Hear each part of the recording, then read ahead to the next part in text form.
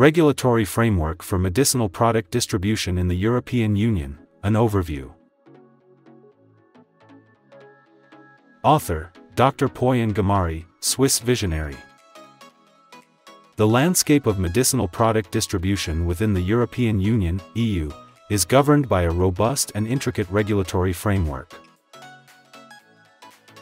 This framework is designed to uphold the integrity of pharmaceutical products, ensuring their safety, efficacy, and quality for EU citizens.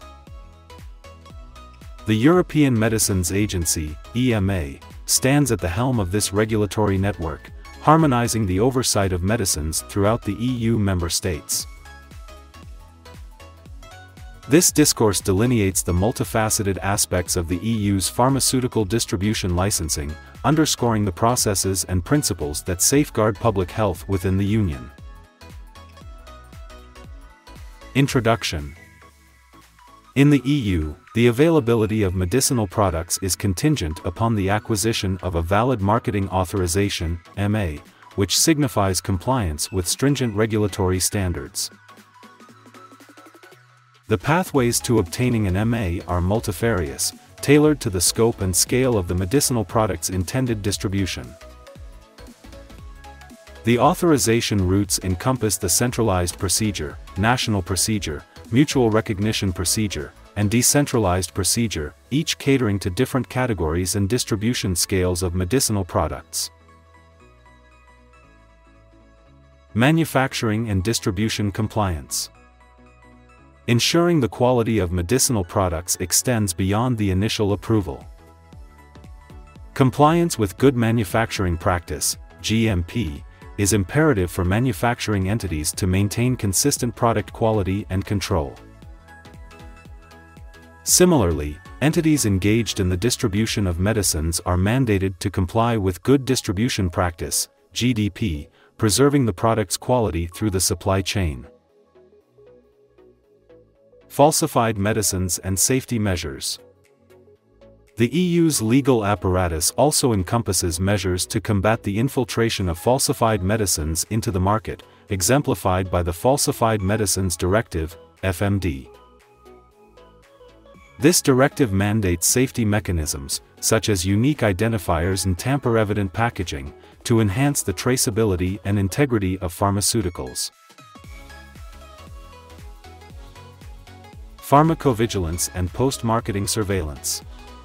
Marketing authorization holders, MAHs, bear the responsibility for ongoing surveillance of their medicinal products.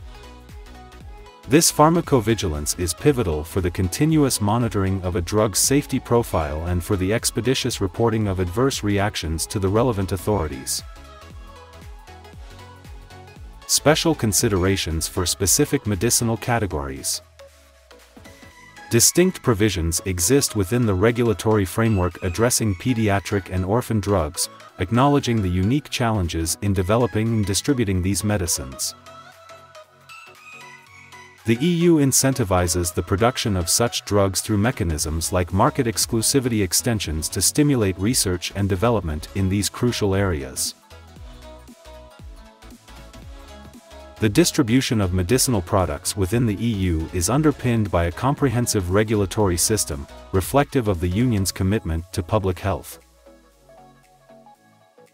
Entities seeking to participate in the EU pharmaceutical market must navigate this intricate regulatory landscape, ensuring adherence to all relevant statutes and guidelines. The framework is not static, it evolves in response to scientific advancements and public health considerations. Post-Brexit, the United Kingdom has diverged to an extent from the EMA's purview, establishing its regulatory mechanism, though parallels remain due to historical alignment.